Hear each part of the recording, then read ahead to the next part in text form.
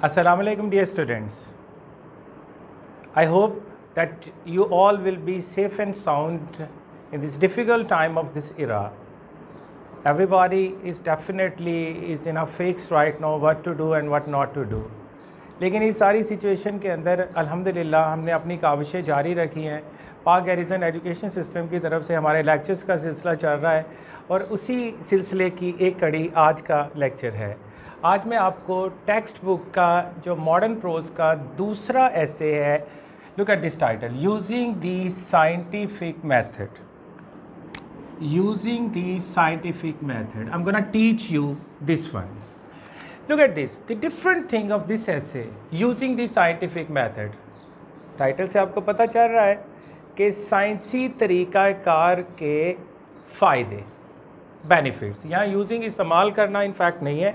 यहाँ है उसके benefits uses uses there are some uses and abuses but here only one aspect of science has been discuss that is uses of scientific method how science has help man in developing his attitude and helping in forming and grooming his life and how science has created so many facilities in man's life It is been written. One unique thing is that uh, there are many, you know, rare piece of pieces of writing which have been written in collaboration by two writers.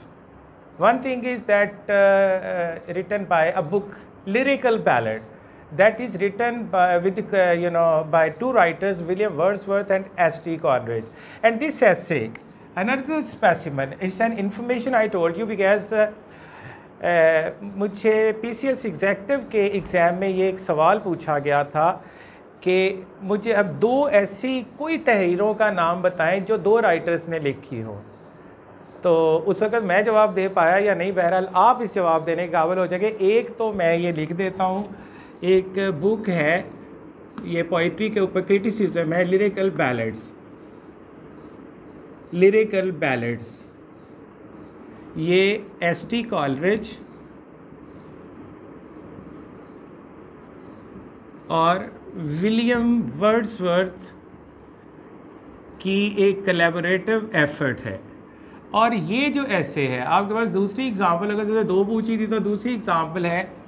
Arer specimen it is written by Darrell Bernard Darrell Bernard with the collaboration of Lon Edward there are two writers of this particular essay using the scientific method so let's come to the point look at the main idea of this essay this particular essay helps understanding ये जो हम ऐसे पढ़ने जा रहे हैं ये हमारी मदद करता है ये समझने में how the use of scientific method has improved our living condition कि किस तरह से साइंसी तरीक़ाकार के इस्तेमाल ने हमारे रहन सहन के हालात को बेहतर बनाया है and change the attitude of people और लोगों के रवैयों को किस तरह से तब्दील किया है। Is positive change positively and how can it help us? इन आगे फ्यूचर में हम देखते हैं कि आगे क्या क्या, कैसे इससे हेल्प कर सकती है। ये भी इसके अंदर, जो फ्यूचर प्रॉस्पर जो है इसका एक तनाजर, वो भी नज़र आता है हमें। एक परसेप्शन नज़र आ रही कि फ्यूचर में किस तरह हेल्प आउट करेगा। How can it help us किस तरह से ये साइंस हमारी मदद कर सकती है in making our day to day life better हमारी रोज़मर्रा की ज़िंदगी को बेहतर बनाने में किस तरह से मावन साबित हो सकती है? अब ये इसका मेन पॉइंट है। Let me repeat it again this particular essay helps understanding how the use of scientific method has improved our living conditions and changed the attitudes of people and how can it help us in making our day-to-day life better. Look at this you can just translate that into your own ways but i have translated that into urdu as well. So salient points of this essay this essay will be taught on the basis of these things. These are the textbook points which have been discussed by, by these both writers, Daryl Bernard and Lon Edward. So it teaches us how science has helped us. How science has helped us. Number one, science has helped us in better control of diseases. Science ने बीमारियों के ऊपर बेहतर control करने के लिए हमारी मदद की। सबसे पहले देखें जी मेंटेनेंस ऑफ़ हेल्थ हमारी हेल्थ को हम किस तरह से मेंटेन कर सकते हैं? साइंस ने हमारी बहुत ज़्यादा मावनत की और इसने बताया है how can you live healthy life how can you lead healthy life कौन कौन सी बीमारियाँ थी? इसमें बताया गया है कि जी ये देखें, पहले जो इन्फेंट मोटेलिटी रेट यानी छोटे बच्चों में शरा, जो बच्चे पैदा होते थे, नौमलूद बच्चों में जो मोटेलिटी रेट अमवात का रेशो थी, वो बहुत ज़्यादा थी। यानी उसमें उसने एग्ज़ाम्पल दिया है कि seven out of eight babies die before reaching their first birthday यानी मतलब क्या हुआ? कि आठ में से सात बच्चे एक साल की उम्र को पहुँचने तक मर जाते थे। यानी एक कोई ऐसा ऐसा कोई अनयूजल किस्म का, कोई स्ट्रॉन्ग किस्म का बच्चा होएगा जिसकी इम्यूनिटी बड़ी स्ट्रॉन्ग होगी तो वो लकीली बच जाता था। तो फिर आज क्या होता है? आज से जो बच्चों की पैदाइश हॉस्पिटल्स में होती है, इसी तनाजर में देखें, ये जो था जचगी के दौरान ख़वातीन की जो अमवात है, उस पर भी बे इंतहा कंट्रोल किया गया है। आप अनइमेजनेबल इसके अंदर देखेंगे, इन्हें सर्विसेज़ दी है साइंस ने हेल्थ सेक्टर के अंदर। और अब जच्चा बच्चा जो है वो, चूँकि हॉस्पिटल्स में पैदाइश होती है सेफ़ एंड सिक्योर वहाँ माहौल होता है, और इसके बहुत ही कम चांसेस रह गए हैं कि बच्चे जो है इन्फेंसी के अंदर मरते हों या माए जचगी के दौरान। अब इसमें बेटर कंट्रोल ऑफ़ डिज़ीज़ के अंदर डेफिनेटली इसके अंदर डिटेल में हम जब बुक पढ़ेंगे, उसके अंदर जाएँगे कि कौन कौन सी ऐसी बीमारियाँ थी जो, ज़िंदगी के अवाइल में लगती थी अप टू सिक्स ईयर अगर किसी तरह बच गए तो 12 साल का हुआ तो तब कौन कौन सी बीमारियाँ, फिर अगर वहाँ से भी बच गया तो फिर और हमारे ये जो अनहाइजेनिक कंडीशंस थी look at this second point इसने हमारी मदद की है by providing better sanitary conditions बेहतर हिफान सेहत के हालात। सैनिटेशन के डिपार्टमेंट्स बन गए हैं। ये गंदा पानी, नालियों में ये गारबेज कूड़ा, करकट, हर तरफ़ बिखरा हुआ, गलियों में, सड़कों में बदबू, गलाजत, मक्खियाँ, मच्छर, हर चीज़ आ रही। ये बहुत बड़ा सोर्स है बीमारी पैदा करने का। और इससे बहुत सारे लोग मरते थे। Look at this one thing is malaria malaria एक चीज़ है। उससे अभी रिसेंटली आपने देखा कि उससे डेंगी भी प्रोड्यूस हुआ। डेंगी जो था, वो साफ़ पानी में पैदा हो गया। अब उसी तरह से बीमारियाँ जो कुछ एपिडेमिक्स होती हैं like right now corona virus pandemic is going on आप देख रहे हैं, ये पता नहीं किस सोर्स से हुआ है लेकिन बहरहाल साइंस लगी हुई है अपनी जहत में और उस पर काबू पाने के लिए। Right now it is not been mentioned मैं वो बता रहा हूँ कि फ्यूचर में हमारे लिए हेल्प कैसे कर सकती है। Science definitely is playing a positive role one thing is it should be clear जहाँ साइंस का लफज आता है बेटा। तो मेरे प्यारे बच्चों, एक बात आपने याद रखी, वहाँ लॉजिक्स आ जाता है। Science is directly link with logic यहाँ मेरे आपके इमोशंस नहीं चलते। यहाँ बात महज मफरूज़ों पे और जज्बात पे या सेंटिमेंट्स पे नहीं होती। यहाँ बात दलाइल के ऊपर होगी लॉजिक्स के ऊपर होगी। साइंस लॉजिक्स को मानती है। अगर तो वह लॉजिक्स के जो मंतक के ऊपर पूरा उतर रहा है तो उस कसौटी उस मैार के ऊपर अगर पूरा उतर रहा है तो फाइन अगर ऐसा नहीं हो रहा तो वो उसको डिनाई कर देती है. अगला इसका जो फ़ायदा है production and preservation of food जो इसने हमें बेनिफिट प्रोवाइड किया है production and preservation of food हुआ क्या करता था? कोई सौ, दो सौ साल पहले इस तरह था कि लोग किसी ख़ास इलाके में रहने वाले यकीन राइटर लिखता है कि वो भी इतना ही लुत्फ़ उठाते होंगे खाने पीने की अशिया से जितना हम उठाते हैं। जितना हम फ़ायदा मज़ा लेते हैं, वो भी लेते होंगे। But one thing was sure they hadn't as variety of food as we have today उनके पास इतनी वैरायटी ऑफ़ फ़ूड नहीं थी, इतने किस्म की। अब देखिए अगर हम हम 12 मंथ्स ऑल सीज़न की, हमारे पास वेजिटेबल्स भी होती है, हमारे पास फ्रूट भी होते हैं। अब तब के दौर में अगर हम सी फ़िश खाना चाहते हैं तो वो जो कोस्टल एरिया के करीब लोग रहते थे वही इंजॉय कर सकते थे। अब सपोज़ कराची में है कोस्टल एरिया और यहाँ तक, वो लाहौर या ननकाना तक आते क्योंकि उसको प्रिजर्वेशन के तरीके नहीं थे तो गल सड़ जाती थी। सब्ज़ियाँ जो मौसमी होती थी, सिर्फ़ उसी से लुफानंदोज़ हुआ जा सकता था। फ्रूट किसी भी किस्म का, अगर वो हमारे इलाके में पैदा नहीं होता था तो वो किसी और मौसम में हम लुफानंदोज़ नहीं हो सकते थे। Look at this benefit of science कि हम ऑल सीज़न में anywhere, no matter where are we, we living today, we can enjoy all type of food we can enjoy all type of vegetables we can enjoy all type of fruit and other food other items of food फिर उसके लिए इसने production कैसे बढ़ाई पर एकड़ production किस तरह बढ़ानी है ग्रोथ किस तरह से बढ़ाई पहले डेफिनेटली फर्टिलाइजर्स नहीं थे पेस्टिसाइड्स नहीं थे इसकी इसकी इन्वेंशन के साथ डेफिनेटली जो फर्टाइल लैंड थी उसने और इनफर्टाइल लैंड को भी फर्टाइल बनाया गया और जो एवरेज निकलनी शुरू हुई वो भी बहुत ज़्यादा बेहतर हुई। इसलिए ज़्यादा खुराक भी मिली और खुराक को प्रिजर्व करने के मुख्तलिफ़ तरीके आए। पहले जो ख़वातीन थी वो पिकलिंग कर लेती थी सॉल्टिंग कर लेती थी डिहाइड्रेशन से इसको सेव कर लेती थी, लेकिन वो मखसूस पैमाने पर हो सकता था। आज आपको केंड फ़ूड मिलती है और कहीं भी दुनिया में किसी भी मौसम में किसी भी टाइम ट्वेंटी फोर सेवन आप अवेलेबल होती है अगर बड़े डिपार्टमेंटल स्टोर हैं तो राउंड द ईयर आपको सारी चीज़ें मैसर होते हैं it is only due to the science look at this it is only a you know a, definitely a favor of science to mankind that we can enjoy all type of food no matter wherever we are living and which part we are living if we have money if we have purchasing power, we can purchase that and we can enjoy it. Look at this third one is transportation पहले transportation का जो सिलसिला था, पहिए के आज़ाद होने से लेके ये तांगे घोड़े, बगियाँ, गड्ढे type wagons dump carts like इस तरह के ये सवारियाँ। फिर उसके बाद मोटर का आ जाना, फिर मोटर से वो स्लो स्पीड कोई बसेस को वैन्स या ट्रेन का एक सिलसिला शुरू हुआ, फिर एयरप्लेन्स का आना। अब देखिए, उसके एयरप्लेन्स के आने से और फास्ट मूविंग जो व्हीकल्स है, पहले कश्ती के ज़रिए शिप्स के ज़रिए लोग जाया करते थे। समंदरी सफ़र होता था। सपोज़ अगर पाकिस्तान से सऊदी अरेबिया अगर उम्र या हज करने जाना तो छः छः महीने लग जाते थे। अब ये चीज़ इंस्टेंटली होती, चंद घंटों के बाद कॉल आ जाती थी, हम पहुँच गए। खैरियत की खबर आ जाती है। ये बहुत बड़ा बेनिफिट है। ट्रांसपोर्टेशन के तेज़ होने से डेफिनेटली उसमें आप कहेंगे हादसे भी बड़े हैं। बहरहाल इसने टाइम भी बहुत सेव किया है। इसके बेनिफिट्स भी बहुत सारे हैं और यकीनन बेनिफिट्स इसके नुकसान से ज़्यादा है। इसके यूजेस इसके मिस यूजेस से, इसके मेरिट्स इसके डी मेरिट्स से कहीं ज़्यादा है। अब कम्युनिकेशन की बात करते हैं। मवासलात का जो निज़ाम हुआ करता था, पहले शायद कबूतर ख़त लेके जाया करते होंगे।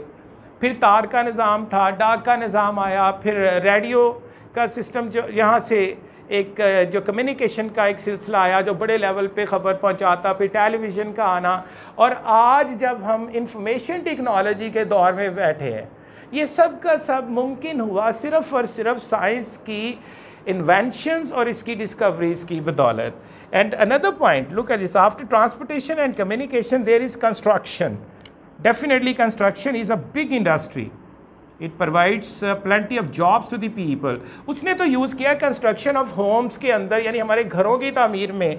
तो बात बहरहाल सिर्फ़ घरों की तामीर तक नहीं है, ये फ़िज़िकल इंफ्रास्ट्रक्चर जितना भी होता है। फ़िज़िकल इंफ्रास्ट्रक्चर कहते हैं हमारी रोड्स बिल्डिंग्स ये हॉस्पिटल्स की बिल्डिंग्स स्कूल्स कॉलेजेस की।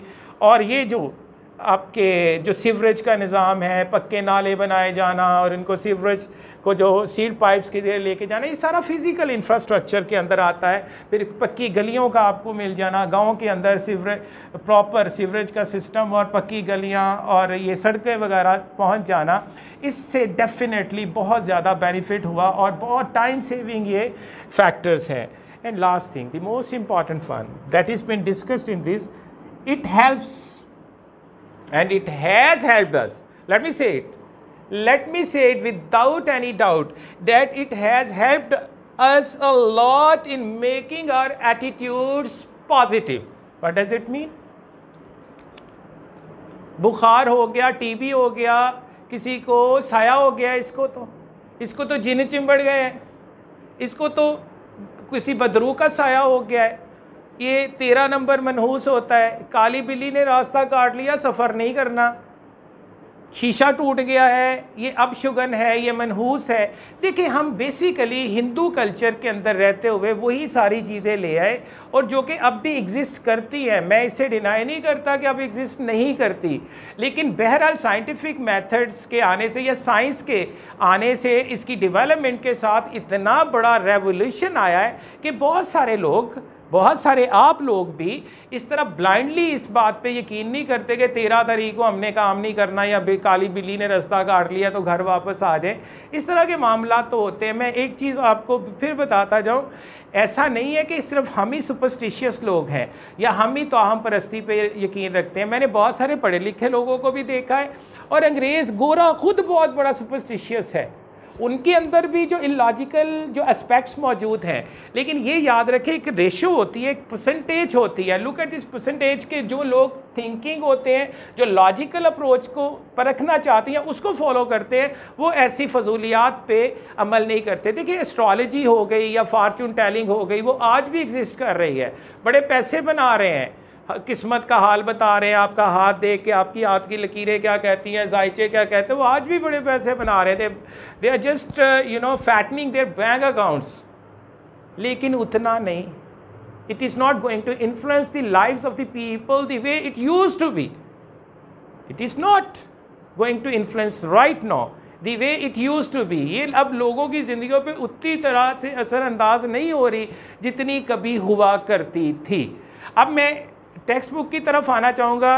होपफुली आपने टेक्स्ट बुक अपने सामने खोल ली होगी और मैं कुछ हिस्सा उसका स्टार्ट करवाता हूँ। आज के लेक्चर में इन पॉइंट्स को जेन में रखते हुए मैं चाहूँगा कि अब आप टेक्स्ट बुक और वही मैंने जो आपको इंस्ट्रक्शंस पहले दी हुई थी कि आपने अपनी टेक्स्ट बुक जब सामने रखनी है तो जो भी डिफ़िकल्ट वर्ड्स होंगे जो भी डिफ़िकल्ट वर्ड्स होंगे, आपने उनको अंडरलाइन करना है। जब लेसन मुकम्मल हो जाएगा, आपने जो ये फ्रंट पेज पे वकैब दी होती है, उसमें उसके मल्टीपल मीनिंग्स दिए होते हैं, वो आपने देखने हैं।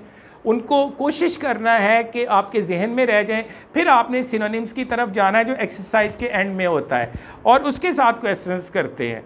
तो मैं यहाँ पर स्टार्ट करने जा रहा हूँ। आज आप अपनी text book using the scientific method so let start from the first page all of us have benefited greatly from the use of scientific method. हम सबने साइंसी तरीका कार के इस्तेमाल से बहुत फ़ायदा उठाया है। इन सॉल्विंग प्रॉब्लम्स मसाइल के हल के लिए सच एज जैसा कि those dealing with the maintenance of health ऐसे मसाइल जिनका ताल्लुक सेहत को बरकरार रखने से है। The production and preservation of foods मुख्तलिफ़ किस्म की खुराक की पैदावार और उनको महफूज करने से जिनका ताल्लुक है। The construction of our homes हमारे घरों की तामीर के लिए से जिनका ताल्लुक है and the improvement in communication and transportation और नकलो हमल और मवासलात के मैदानों में भी इसने इनकलाब बपा किया है। Not only have our ways of living change इससे ना सिर्फ़ हमारे जो रहन सहन के तरीका कार बदले हैं but people them self have also been change बल्कि खुद लोग भी तब्दील हो गए हैं। Look at this last point कि इसने बताया it has made our attitudes positive better it has improved our attitudes lot इसने बहुत सा इम्प्रूवमेंट लेके आई है ये साइंस तो डेफिनेटली लोग भी चेंज हो गए हैं। Today we are better able to explain happenings आज हम बेहतर पोजीशन में हैं, कि हम वजाहत कर सकते हैं वाक़ात की which used to be consider strange and mysterious जो कभी बड़े अजीब व गरीब, बड़े पुरस्कार लगा करते थे।